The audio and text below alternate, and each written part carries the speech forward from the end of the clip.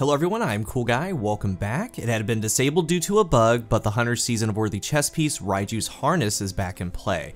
I am very confident in saying that this is a top option for PvP.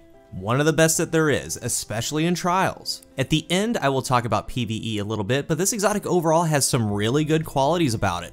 In this review, I want to talk about what it does, how to get the most out of it, but most importantly, how to become a better Middle Tree Arc Strider when using Whirlwind Guard because Raiju's harness is centered around Middle Tree Arcstrider's Way of the Current Whirlwind Guard. This is one of my personal main hunter trees. It's got a top tier neutral game with Tempest Strike, Ebb and Flow, and Lightning Weave. At the top of the screen and a card below is how to best utilize the subclass. I go in depth. There are ways to use it with Liar's Handshake as well. Both of those videos are going to be down below in the description, and those are talking about other parts of Way of the Current. But here, it's all about Whirlwind Guard. With the Guard, it shuts down almost every super in the game, and on activation, it deflects before you even start blocking. So whatever is deflected turns into yours. It has the same exact traits it would have had, but now it's for you. You can deflect a Nova Bomb or pop activation on a Nova Bomb. The small particles of the Nova Bomb that track other players are going to do that as if you threw the Nova Bomb. If you deflect a Sentinel Shield, it's going to throw the shield back and start ping-ponging your enemies like you were the one that threw it. One of the big things about it is that it cancels out a lot of supers. Not only cancels, but outright beats most supers. It deflects and cancels golden guns. It can deflect them right back and kill the golden gun user, down them. It deflects and kills blade barrage. It deflects fusion rifles, rockets. There's a long, long list, but not only is this a defensive super, but you also have regular Arc Strider to go on offense with. It's just a great super that I don't see too much. One of the main things to remember though about Whirlwind Guard is that when you deflect a projectile, your arc staff damage is tripled for a short time. So as an example, this is one of the ways you need to use it. A simple light attack is not going to take out another super. As you can see, I light attack a super, it isn't enough, but the moment someone shoots at me while I'm deflecting, you get the Whirlwind Guard buff on the screen. When you have that, you can light attack another super with a one shot. If you get your super early, you could be on the offense, but say in trials, they have a golden gun, or they have another super, you can just specifically pop your super to deflect, and that's just gonna cancel them out. Or you're the last player alive, there's a golden gun popped, you can go to one of your teammates in trials and revive them deflecting over their revive. That way you can get a friendly up. Just remember that Spectral Blades can't down you, other arc staffs. You can hit Nova Warp twice before they get off their explosion. It eats Storm Trance. You can stop Thunder Crash if it's right in front of you. You can stop Landfall from Stormcaller if you pop it at the right time. The only things you have to worry about are Trace Rifles, Chaos Reach, Burning Maul, and then Titan Hammers and Blade Barrages that get thrown above you or behind you, sometimes to the side. To play this perk, Whirlwind Guard, if it's a true 1v1 versus another super, you're trying to get the palm shot off, but most of the time you're in deflect and you're walking them down. As you're doing that, other enemies are panicking, they're shooting at you, all you're doing is holding, walking them down, taking aggro, boxing them in, and the moment that you see someone shoots at you, Whirlwind Guard's on the screen, you use your light attack on the enemy super. It's easy work. Just remember that. If you just sit there, hold your guard, deflecting, let's say a Spectral Blades or another Arc Strider, they get hopeless most of the time because the majority of them simply can't get you. They can't kill you. You just get close, wait for that buff to get on your screen, come out of deflect, and then light attack them. With Raiju's harness, his exotic perk is Mobius Conduit. First of all, different shaders turn the glow and the look of this chest piece. It's very cool different shaders. The perk states, while your Whirlwind Guard super is active, guarding consumes less energy, and you can press your super activation button again to deactivate your super early and save super energy. Similar to Chaos Reach with the Geomags, and I'm going to talk about exactly what Raiju does, when you should be canceling, what it does when you cancel, why you should cancel, things like that. And one thing about Arc to remember is that if you pop it and do nothing, that is the longest duration. It lasts for 17 seconds. That's with no guarding, no light attacks, no heavy attacks. I see a lot of people pop it, immediately start deflecting and going, or they start using light attacks to get around. What you want to do is pop it and use the dodging movement because this doesn't take away any of your super energy. It lasts the full 17 seconds while you're using the Arc Strider dodge mechanic. This is what you need to do to move around, and when you get up close to enemies, or another super, say they're coming at you, that's when you start to hold deflect, and you can go on the offense. So the base super is 17 seconds. If you don't have on this chest piece that we're talking about, Raiju's Harness, from the moment you pop your super and deflect, the entire duration, it lasts for 9 seconds. That's just straight deflect time.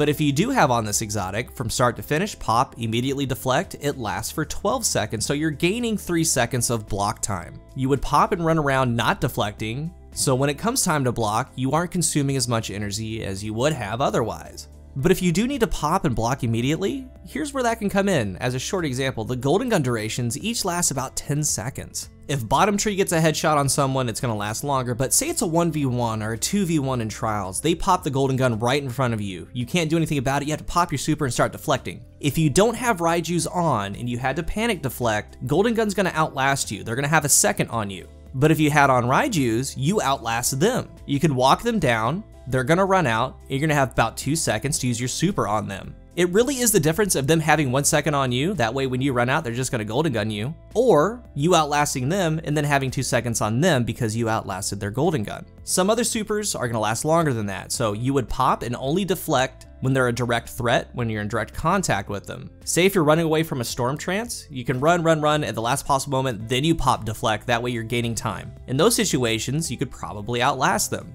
In a straight 1v1 though, even with Raiju's, you're not to outlast something like Storm Trance. The other part of Raiju's is that you can end your super early. Now my voice might sound different, it's because I'm coming back post final edit. I want to make this part crystal clear, it's very important to understand. I wouldn't feel good about this review if I didn't make it clear. When you end your super early, it's going to work off of a percentage. When you look at the super bar, we break it down into four quarters, 25%, 50, 75, and 100. Depending on where you deactivate is going to depend on how much super energy the deactivation is going to take away, and in turn how much you're going to be left with. If you deactivate with over 50% super left, it's going to take 26% on your deactivation. This could be a good thing, maybe you have one quick kill, no one's around, you deactivate it. Even after deactivation, you're still going to be at almost 50% of your super going into your next one. But once you get past that, once there's less than 50% of your super left, you're going to get a better return. On the screen is various stop points. The dark part on the super line is near where the deactivation happened, and you can see that the longer you wait, the less it takes away, and the earlier that you do it, the more it takes away. The sweet spot to end your super to make that decision is going to be around 26% to 49% of your super left, if you have more than 50% left, it's to take that full 26%. So the longer you wait, like the very bottom picture, it's not going to take that full 26%. And a big thing to take away, it's always worth it to end your super early, even if it's seconds. To show on the screen, anywhere within this bar on deactivation is good. This 26% to 49%. Because if you deactivate, again, on that other side, you're going to be down here anyway. There's so many scenarios that you can run into. Say you're right on top of an enemy, you pop your super, you get a couple quick kills, it is going to be best to just deactivate it right then and there. But if you have to go a little bit, you get a couple kills, but there's someone on your radar and they're very close, you might as well go take them out, get down into that sweet spot, and then deactivate. The background gameplay is perfect in showing this. I pop my super, I get a couple kills, get a third, find the other one, and I'm just kind of waiting. I pop it in that sweet spot, and you see how much it takes away. So like right here, if there's any chance to get another kill, go do it in this time frame right here on your super bar. It's either gonna be a very quick deal, you get some kills, deactivate, or in this center of the bar, I'd put lines. Just make sure it crosses that 50% point, then deactivate. Now there's a bug on Arcstrider right now as far as the super, it's gonna be fixed with a patch coming up, I'm not gonna talk about it. But super energy, gaining super energy, getting a fast super is important. That's in quick play all the way to trials. At tier 1 intellect, your super is 6 minutes and 22 seconds. At max intellect, tier 10, your super is 3 minutes 48 seconds. So say you go max intellect and you're pairing it with getting kills. Like I'm running Raiju's with max intellect right now. I have mods like pump action, remote connection. That way when I get a sniper kill or a shotgun kill, I get more super energy than I would have. When the match starts, I'm usually getting a super within two minutes. And that's the cool part with Raiju's. I cannot stress the gravity, the weight of what you're doing with this exotic. I've had three to five supers in quick play. Because sometimes you go in with your super, if there are enemies, you pretty much just spend your entire super as you would because there's enemy after enemy. But there are a lot of times you get into an area and there's only two or three. Maybe there's an enemy that's behind enemy lines that's right in your spawn that pops a golden gun. You could pop your super, deflect, take them out, and right when it's done, there's no other enemies in sight, you can deactivate. When you have on this chest piece, you want to make quick work of your enemies because if you do that, say you pop it and take out two quick enemies, you can deactivate it and then be at about 50% super. That way no super is wasted as you're running around to the other end of the map or trying to chase down other enemies. You can just pop it, get the kills, be done, and then go on and get another one. Say in trials, you get super first. You rush them, you get all three, after that you immediately deactivate. And depending on how fast you do it, you could have 30% of your super back. And if you're on max intellect, that max super was 3 minutes 48 seconds, you're already 30% into that. Or maybe in trials, a team is split you go after two, and there's the other lone wolf enemy that's just on the other side of the map trying to go for a flank. Well, you could pop your super, take out the two, and immediately deactivate. You're going to have over 50% of your super because you deactivated early, and then your team is in a 3v1. Those are the decisions that you need to make and that you're going to make and that you should be making. It's really strong. Or say you take out a couple, and here's a surprise for the next one. Say there's only one player left. You're blocking and walking them down. You can deactivate and just 1v1 them. You can save that super energy. Say you don't have teammates around to grab an orb or you wouldn't make an orb because it's your first kill. I've found that they don't expect you to immediately just stop blocking and shooting. Maybe catch them in a reload. As soon as they're reloading, deactivate and go shotgun them. Deactivation to save the super energy is a big deal, and in the background game, it's where I have on double pump action. I get my super within a couple minutes. I got it, went into their spawn, there's only a couple enemies, I got them and immediately deactivated. I ended up getting my second super before the enemy team got their first. If you can, go as high as you can with intellect mods for things like trials. Just a high intellect stat. Now, that's going to take away from other stats. That's going to be the negative.